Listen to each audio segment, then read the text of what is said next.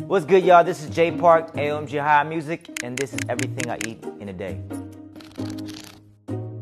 The first thing I do when I wake up is probably drink water. I urinate a lot. I don't know, maybe my prostate's unhealthy, I don't know. I'm very conscious about my immune system just because I used to get sick a lot. I used to get sick like every month. And so I found this kind of remedy, this garlic shot. Take three cloves of garlic and you chop it up, you squeeze a whole lemon in there, put some manuka honey in there, top it off with some cayenne pepper flakes, and you take a shot of that uh, on an empty stomach. And you're supposed to do it for a week, but I've been doing it like every day for like three years now. So I usually start my morning off with that. I wasn't a coffee drinker. I don't know, I never liked the taste of it. I, I would usually drink Red Bull, I know. It's good. Like now I can't go on about my day without coffee.